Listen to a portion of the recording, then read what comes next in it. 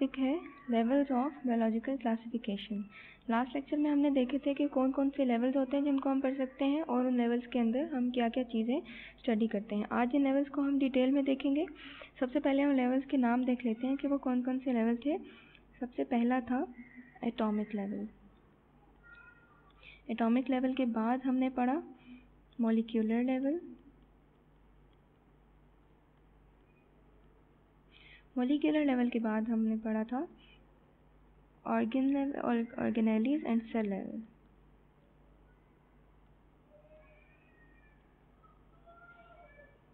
organelles and cell level के बाद हमने पढ़ा था tissue level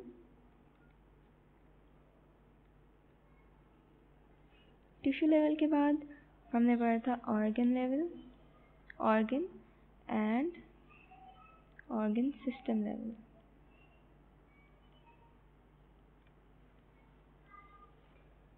organ system level के बाद हमने देखा था इंडिविजुअल लेवल और इंडिविजुअल लेवल के बाद हमने देखा था पॉपुलेशन और कम्युनिटी लेवल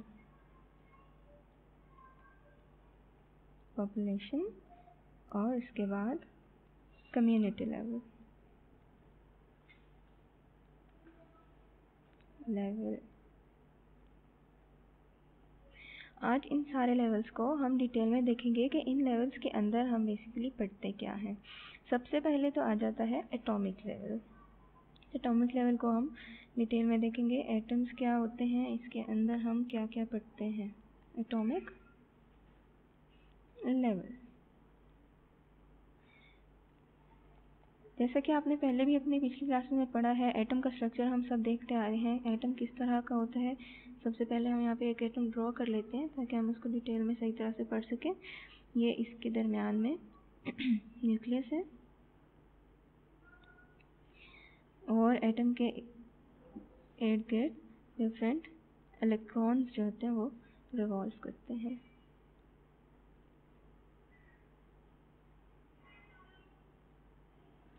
इस तरह से ये हमने एक एटम बना लिया। ये इसका फ़र्स्ट शेल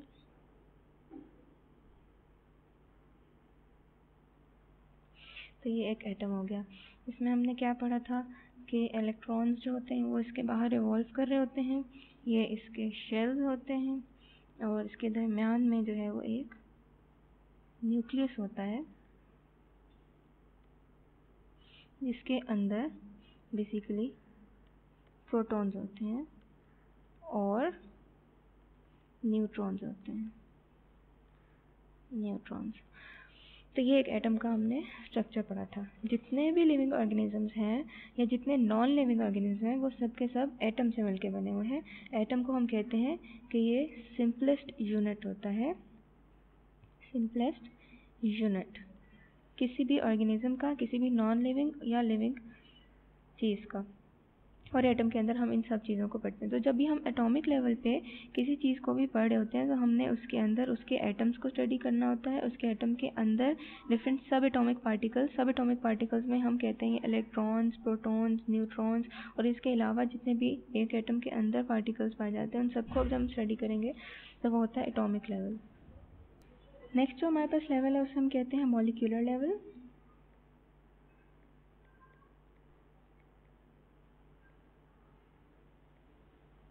मोलिकुलर लेवल हमने अपनी पिछली क्लास में पढ़ा था कि एलिमेंट्स जितने भी हमारे पीरियोडिक टेबल के अंदर पाए जाते हैं, वो कभी भी आइसोलेटेड नहीं होते, वो आइसोलेटेड यानी एक अकेले कभी भी पाए नहीं जाते, सिवाय कुछ नोबल गैसेस के, जितने भी एलिमेंट्स होते हैं, वो कंबाइंड फॉर्म में होते हैं। आइसोलेटेड नहीं होते। तो कंबाइंड फॉर्म में पाने का मतलब पाए जाने का मतलब यह है कि उन्होंने बॉन्ड्स बनाई हुई होती हैं डिफरेंट तरह की बॉन्ड्स पाई जाती हैं एलिमेंट्स के अंदर, या तो वो आइनिक बॉन्ड से कंबाइन होते हैं, या फिर कोवलेंट बॉन्ड से। कोवलेंट बॉन्ड तो जितने भी एलिमेंट्स होते हैं, वो आपस में इकट्ठे होते हैं, किसी न किसी बॉन्ड की मदद से और वो बॉन्ड जो है, या तो वो आयनिक बॉन्ड हो सकती है, या फिर वो कोवलेंट बॉन्ड हो सकती है। तो यही जो बॉन्ड होती हैं, वो इन एलिमेंट्स को स्टेबल बनाती हैं। इन बॉन्ड की वजह से वो एलिमेंट्स एग्जिस्ट कर सकते हैं स्टेबल नेचर के अंदर। डिफरेंट जो मॉलिक्यूल्स हमारे बॉडी के अंदर पाए जाते हैं, वो डिफरेंट एलिमेंट से पाए जाते हैं। लास्ट लेक्चर हमने कुछ एलिमेंट्स को स्टडी किया था कि वो कौन कौन से एलिमेंट्स हमारे बॉडी के अंदर होते हैं। उन तमाम एलिमेंट्स को हम बायो एलिमेंट्स कहते हैं। ऐसे एलिमेंट्स जो हमारे बॉडी के अंदर होते हैं। हमने देखा था कि टोटल सिक्सटीन ऐसे एलिमेंट्स हैं पूरे पीरियोडिक टेबल में से जो हमारे बॉडी के अंदर होते हैं और उन सिक्सटीन में से जो मेजर एलिमेंट्स हैं, जो सबसे ज़्यादा होते हैं परसेंटेज वाइज उसमें हाइड्रोजन है कार्बन आ जाता है उसके अलावा ऑक्सीजन है जो सबसे ज़्यादा परसेंटेज है उसके बाद नाइट्रोजन होता है हमारे बॉडी के अंदर बहुत ज़्यादा फॉस्फोरस है और सल्फ़र है, इसके अलावा मज़ीद जो है वो हमने देखे थे और एलिमेंट्स तो ये कुछ मेजर एलिमेंट्स हैं जो हमारे बॉडी के अंदर पाए जाते हैं। ये डिफरेंट जो एलिमेंट्स हैं, ये इनके अंदर डिफरेंट तरह की बॉन्ड्स होती हैं, जैसे हमने पढ़ा आयनिक बॉन्ड्स हैं कोवलेंट बॉन्ड्स हैं, इन तरह की बॉन्ड बॉन्डिंग के थ्रू ये इनके डिफरेंट मॉलिक्यूल्स बन जाते हैं। उन मॉलिक्यूल्स को जब हम स्टडी करते हैं तो हम कहते हैं कि मोलिकुलर लेवल को स्टडी करें मॉलिक्यूल्स बेसिकली अगर हम दो तरह से हम इसको डिवाइड करते हैं, अगर हम बाय वेट डिवाइड करें मॉलिक्यूल्स को बाय वेट तो अगर हम इस तरह से डिवाइड करें तो मॉलिक्यूल्स की दो टाइप्स होते हैं। मॉलिक्यूल्स मॉलिक्यूल्स इसकी दो टाइप्स होती हैं। एक हम कहते हैं माइक्रो मॉलिक्यूल्स और एक को हम कहते हैं मैक्रो मॉलिक्यूल्स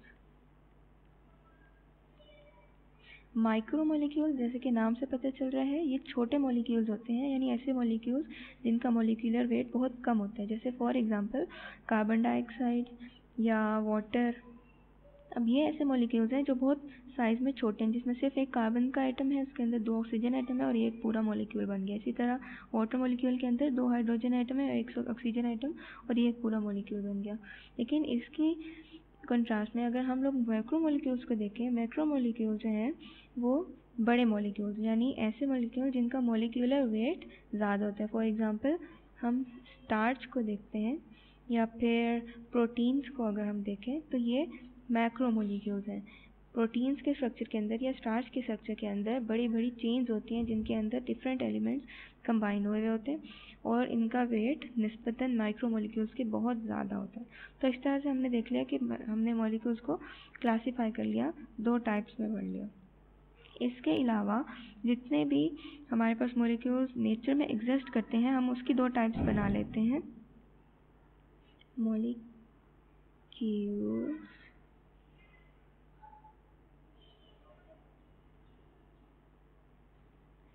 मॉलिक्यूल्स और इसकी दो टाइप्स हम बना लेते हैं। एक को हम कहते हैं ऑर्गेनिक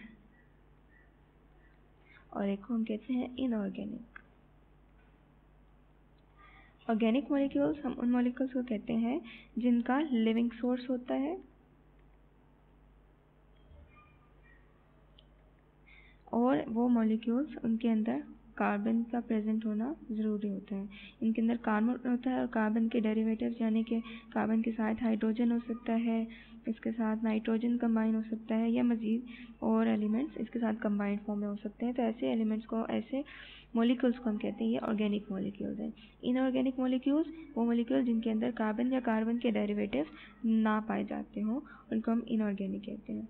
तो इस तरह से हमने मोलिक्यूल्स को डिफरेंट कैटेगरीज में डिफाइन कर दिया कि ऐसे मोलिक्यूल्स जो वेट वेट के हिसाब से जब हम इसको क्लासीफाई करते हैं तो हम कहते हैं कि या तो माइक्रो मोलिक्यूल्स होते हैं या मैक्रो मोलिक्यूल्स होते हैं, और अगर हम इसको डिफरेंट टाइप में डिवाइड कर दें बायोलॉजिकल मॉलिक्यूल्स को तो हम कहते हैं, या तो वो इनऑर्गेनिक होंगे, या फिर वो ऑर्गेनिक होंगे। तो डिफरेंट हमारी बॉडी के अंदर मॉलिक्यूल जो पाए जाते हैं, वो माइक्रो भी हो सकते हैं, वो मैक्रो भी हो जा, हो सकते हैं, वो सैकड़ों की तादाद में हंड्रेड्स ऑफ़ मॉलिक्यूल्स हमारे बॉडी के अंदर पाए जाते हैं, और वो डिफरेंट टाइप्स के होते हैं, उनकी डिफरेंट कम्प्लेक्सिटी होती है। डिफरेंट तरह के पाए जाते हैं। फॉर एग्ज़ाम्पल एग्ज़ाम्पल में हम देख लेते हैं कि हमारी बॉडी के अंदर, अगर हम लोग मैक्रो मोलिक्यूल्स की एग्जांपल लें तो ग्लूकोज आ जाता है अमाइनो एसिड्स आ जाते हैं अमाइनो एसिड फिर फैटी एसिड्स आ जाते हैं ग्लिसरॉल आ जाता है ग्लिसरॉल इन सबको हम डिटेल में नेक्स्ट चैप्टर में स्टडी करेंगे कि इनका स्ट्रक्चर कैसा होता है या इनके अंदर क्या क्या एलिमेंट्स होते हैं। न्यूक्लियोटाइड्स हैं। न्यूक्लियोटाइड्स के अंदर हमारे पास एटीपी आ जाता है, या एडीपी आ जाता है, या ए एम पी आ जाता है। तो ये डिफरेंट तरह के nucleotides. A T P stand for adenosine triphosphate adenosine tri phosphate इसी तरह एडीपी से एडिनोसिन डाईफॉस्फेट और एएमपी से adenosine D for di and M for mono तो एडिनोसिन मोनोफॉस्फेट इनके स्ट्रक्चर को हम डिटेल में स्टडी करेंगे नेक्स्ट चैप्टर में। तो ये तो हमारा हो गया मोलिकुलर लेवल इसके बाद जो नेक्स्ट हमारे पास लेवल ऑफ़ क्लासिफिकेशन आता है, उसे हम कहते हैं organelles and cell level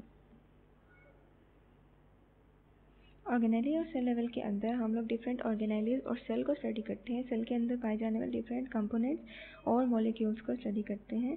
organelle किसे कहते हैं? सबसे पहले तो हम ये देख लेते हैं कि ऑर्गेनेली होता क्या है। ऑर्गेनेली हम कहते हैं सेल के अंदर डिफरेंट जितने भी कंपोनेंट्स होते हैं, वो सब ऑर्गेनाइलीज होते हैं। यानी कि फॉर एग्जांपल अगर हम एक एनिमल सेल की बात करें तो कुछ ऐसी शेप होती है एनिमल सेल की एनिमल सेल की बाउंड्री आउटर वॉल इसके अंदर हमारे पास होता है न्यूक्लियस न्यूक्लियस की अपनी शेप होती है, और इसके अलावा इसके अंदर डिफरेंट वैक्यूज होते हैं, एक से ज़्यादा वैक्यूज भी हो सकते हैं, और एक एनिमल सेल के अंदर डिफरेंट अदर कंपोनेंट्स होते हैं, जैसे फॉर एग्जांपल हम कहते हैं माइटोकॉन्ड्रिया है इसके अंदर फॉर एग्जांपल ये माइटोकॉन्ड्रिया हो गए और इसके अलावा हम कहते हैं एनिमल सेल के अंदर गोल्जी बॉडीज़ है। गोल्जी बॉडीज़ ये एक एनिमल सेल बन गया और इसके अलावा हम कहते हैं कि ये जो एनिमल सेल होता है, ये फिल्ड होता है साइटोप्लाज्म से। तो ये हमने एक एनिमल सेल को ड्रॉ कर लिया।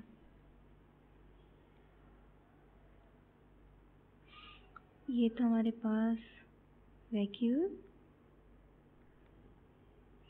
और ये हमने कहा ये माइटोकॉन्ड्रिया है।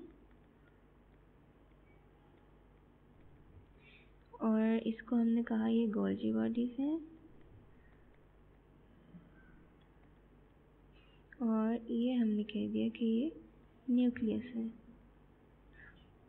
सबसे बाहर एक एनिमल सेल के सेल मेम्ब्रेन होती है। सेल मेम्ब्रेन और न्यू ये न्यूक्लियस था और न्यूक्लियस के बाहर एक मेम्ब्रेन होती है, जिसे हम कहते हैं न्यूक्लियर मेम्ब्रेन न्यूक्लियर मेम्ब्रेन तो सब वो सब कुछ जो कि एक सेल मेम्ब्रेन और एक न्यूक्लियर मेम्ब्रेन के अंदर पाया जाता है, वो सारी चीज़ें, उन सबको हम कहते हैं कि वो ऑर्गेनाइज हैं। यानी इस केस में हमारे पास vacuole mitochondria nucleus Golgi bodies इसके अलावा भी सब सेल के अंदर डिफरेंट चीज़ें पाई जाती हैं। उन सबको हम कहते हैं कि ये सेल की ऑर्गेनाइज हैं। हमारे पास जो इंडिविजुअल होते हैं ऑर्गेनिजम्स होते हैं, वो डिफरेंट टाइप्स के हो सकते हैं और उनके अंदर सेल ऑर्गेनेलिस डिफरेंट तरह की होती हैं। जैसे फॉर एग्जांपल हम बैक्टीरिया की बात करते हैं। बैक्टीरिया जो है, वो सिंगल सेल्ड ऑर्गेनिज्म है। यानी कि उसके अंदर उसका जो पूरी बॉडी है, वो सिर्फ़ एक ही सेल से मिलकर बनी हुई है। लेकिन हमारे पास डिफरेंट एनिमल जो आ जाते हैं कम्प्लेक्स एनिमल्स और प्लांट्स जैसे एनिमल्स की एग्जांपल हम लेते हैं तो उसके, उनके अंदर millions and trillions of cells होते हैं। यानी अरबों और खरबों में जो है वो सेल्स एक ऑर्गेनिज्म के अंदर पाए जाते हैं। एक सेल के अंदर जब हम ऑर्गेनेलिस की बात करते हैं, जैसे फॉर एग्जांपल कि हमने एक एनिमल सेल बनाया था। एनिमल सेल और इस एनिमल सेल के अंदर हमने डिफरेंट ऑर्गेनाइलीज को देखा है। हर ऑर्गेनाइली का अपना अपना काम है। जैसे फॉर एग्जांपल वैक्यूल है तो वैक्यूल का ये काम है कि उसमें वाटर का सेल के अंदर जितना भी पानी है, उसका बैलेंस रखना है। इसी तरह माइटोकॉन या इसके अलावा फ़ूड वैक्यूल हो तो फ़ूड वैक्यूल का काम है कि सेल के अंदर जितनी फ़ूड है उस सबको कंट्रोल करना है। इसी तरह माइटोकॉन्ड्रिया का काम यह होता है कि ज्यूरिंग सेलर रेस्पिरेशन जब भी सेल सेल के अंदर रेस्पिरेशन हो रही है तो माइटोकॉन्ड्रिया जो है, उसमें हेल्पफुल होता है। उसके बाद न्यूक्लियस का क्या काम है? न्यूक्लियस जो है वो सेल की डिवीज़न में हेल्पफुल होता है। न्यूक्लियस जो है वो सेंटर ऑफ़ सेल और पूरे सेल की एक्टिविटीज़ को कंट्रोल कर रहा है। गोल्जी बॉडीज़ हैं तो गोल्जी बॉडीज़ का ये काम है कि जब भी सेल के अंदर कोई चीज़ आती है सेल से बाहर कोई चीज़ आती है तो वो गोल्जी बॉडीज़ के थ्रू होते हैं। तो हर सेल की ऑर्गेनली का अपना अपना फ़ंक्शन है। इसी तरह इसी को, इसको हम कहते हैं division of labour division of labour labour मतलब काम. डिवीज़न ऑफ़ लेबर यानी सेल के अंदर ऑर्गेनेलिज ने अपने सारे काम बांटे हुए हैं और ये सब काम मिलजुल के, सब मिल के कर लेते हैं. इसको कहते हैं डिवीज़न ऑफ़ लेबर सेल्स के अगर हम टाइप्स को स्टडी करें तो सेल्स की बेसिकली अगर हमारे पास सेल्स हैं तो इनकी दो टाइप्स होती हैं. एक को हम कहते हैं प्रोक्रियोटिक सेल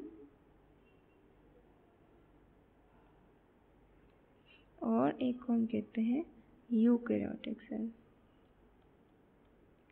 प्रोकैरियोटिक सेल में क्या होता है? प्रोकैरियोटिक सेल को हम ऑलरेडी पढ़ भी चुके हैं। ऐसे सेल जिसके अंदर कोई भी मेम्ब्रेन बाउंडेड ऑर्गेनेली नहीं होती, यानी कोई भी ऐसी ऑर्गेनेली नहीं है जिसके ऊपर मेम्ब्रेन हो। हम कहते हैं नो मेम्ब्रेन बाउंडेड ऑर्गेनेली और जो यूकैरियोटिक सेल है, ये कम्प्लेक्स होते हैं एंड दे है और इनके अंदर मेम्ब्रेन बाउंडेड ऑर्गेनेलीज होती है मेम्ब्रेन बाउंडेड ऑर्गेनेली यानी इनके अंदर जो ऑर्गेनेलीज होते हैं, उनके ऊपर मेम्ब्रेन्स होती हैं। जैसे फॉर एग्जांपल अगर हम इस अपने ऊपर वाले एनिमल सेल की बात करें, जो हमने ऑलरेडी स्टडी किया है तो इसके अंदर हमारे पास न्यूक्लियस है तो न्यूक्लियस के बाहर भी एक मेम्ब्रेन होती है। इसी तरह हमारे पास जो वैक्यूल्स हैं वैक्यूल के बाहर भी मेम्ब्रेन्स होती हैं। जितनी भी ऑर्गेनेलिज हैं, इनके बाहर मेम्ब्रेन्स होती हैं। लेकिन जो प्रोकैरियोटिक सेल होता है, उसके अंदर मेम्ब्रेन बाउंडेड ऑर्गेनेली नहीं होती। उसकी शेप कुछ इस तरह से होती है, जैसे फॉर एग्ज़ाम्पल हम बैक्टीरिया की शेप बना लेते हैं। इनके बाहर सेल मेम्ब्रेन तो है, ये सेल मेम्ब्रेन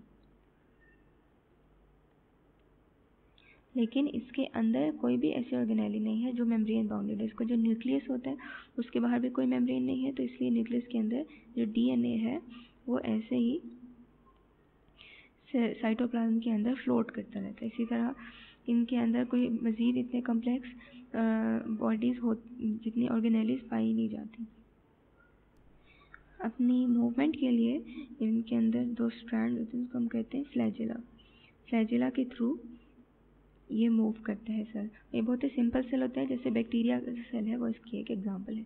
यूकैरियोटिक सेल जैसे हमने अपना ऊपर पढ़ा एनिमल सेल इसी तरह जो प्लांट सेल होते हैं, ये यूकैरियोटिक सेल हैं और ये कम्प्लेक्स सेल्स होते हैं, जिनके अंदर सब मेम्ब्रेन बाउंडेड ऑर्गेनेलिज हैं और सब डिवीज़न ऑफ़ लेबर है, सब ऑर्गेनेलिज का अपना अपना काम है. ये तो हो गया ऑर्गेन लेवल इसके बाद नेक्स्ट जो लेवल ऑफ़ ऑर्गेनाइजेशन है हमारे पास, उसे हम कहते हैं टिश्यू लेवल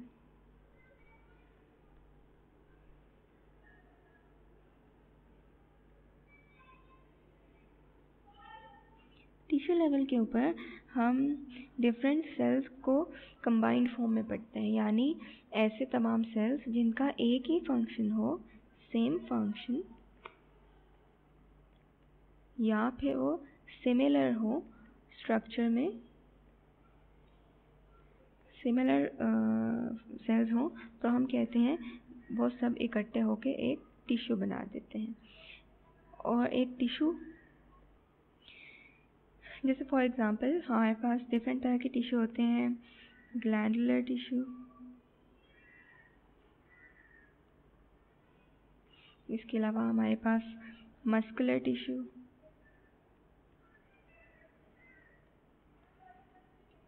या जाइलम टिश्यू या फ्लोइम टिश्यू ये डिफरेंट टाइप्स ऑफ़ टिश्यूज़ हैं, जो कि हम देखते हैं। ग्लैंडुलर टिश्यूज़ कौन से टिश्यू होते हैं? ऐसे टिश्यूज़ जिसके अंदर डिफरेंट तरह की सिक्रीशन होती हैं। सिक्रीशन का मतलब है कि इसके अंदर से डिफरेंट केमिकल्स रिलीज़ होते हैं। जैसे फॉर एग्ज़ाम्पल हमारे स्किन के अंदर ग्लैंडुलर टिश्यू पाए जाते हैं, जिसके थ्रू हमें पसीना आता है। स्वेट ग्लैंड होते हैं, जिससे हमें पसीना आता है। तो ये ग्लैंडुलर टिश्यूज़ हैं। उसके बाद जो है मस्कुलर टिश्यू मस्कुलर टिश्यूज़ के काम यह है कि इन्होंने कॉन्ट्रैक्ट और रिलैक्स करना होता है। और इसके थ्रू हम अपनी पूरे बॉडी के मूवमेंट कर सकते हैं कॉन्ट्रैक्शन एंड रिलैक्सेशन ये इनका फ़ंक्शन है। इसके बाद जो है जालिम टिश्यू जालिम टिश्यू जालिम और फ्लोम जो है वो प्लांट्स के अंदर पाए जाते हैं। जालिम टिश्यू का काम यह है कि इन्होंने ट्रांसपोर्ट करना है वाटर को। ट्रांसपोर्टेशन ऑफ़ वाटर प्लांट के बॉडी के अंदर पानी को ट्रांसपोर्ट करना होता है from roots to other parts of the plants plant की बाकी बॉडी के अंदर तो ये जालिम टिश्यू के थ्रू होता है। इसी तरह जो फ्लोइम टिश्यूज़ हैं फ्लोइम टिश्यू का ये काम है कि उन्होंने फ़ूड को ट्रांसपोर्ट करना है। ट्रांसपोर्टेशन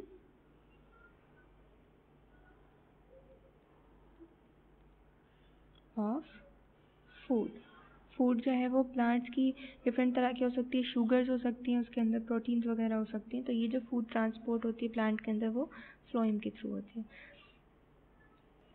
तो ये तो था टिश्यू लेवल थोड़ा सा हम समराइज़ कर लेते हैं। आज के लेक्चर में बेसिकली हमने क्या क्या पढ़ा? सबसे पहले तो हमने डिफरेंट लेवल ऑफ़ क्लासिफिकेशन को देखा था कि वो कौन कौन से लेवल्स हैं जिनसे हम क्लासिफाई कर सकते हैं। सबसे पहला है एटॉमिक लेवल उसके बाद molecular level organelle cell level tissue level organ level individual population and फिर कम्युनिटी लेवल इन लेवल्स को फिर हम मज़ीद डिटेल में देखा था। सबसे पहले हमने एटॉमिक लेवल को देखा, हमने एटम के स्ट्रक्चर की बात की। उसके बाद हम मोलिकुलर लेवल पे आ गए। मोलिकुलर लेवल पे हमने डिफरेंट मोलिक्यूल्स को स्टडी किया। मोलिक्यूल्स के डिफरेंट टाइप्स को माइक्रो मोलिक्यूल्स मैक्रो मोलिक्यूल्स और उसके बाद हमने देखा, दो तरह के बायो मोलिक्यूल्स जो हैं, वो दो तरह के होते हैं, एक ऑर्गेनिक और एक इनऑर्गेनिक फिर उसके बाद हमने स्टडी किया different organelle and cell level को। सेल लेवल के अंदर हमने एक एनिमल सेल को स्टडी किया। उसके अंदर डिफरेंट ऑर्गेनेलिस को स्टडी किया। उसके बाद हमने टिश्यू लेवल को देखा और टिश्यू लेवल के अंदर हमने डिफरेंट टिश्यूज़ को टिश्यूज़ की बात की और देखा कि डिफरेंट टिश्यूज़ की क्या फंक्शनैलिटी है। नेक्स्ट नेक्स्ट लेक्चर में हम मज़ीद जो बाकी लेवल्स हैं, उनको डिटेल में स्टडी करेंगे।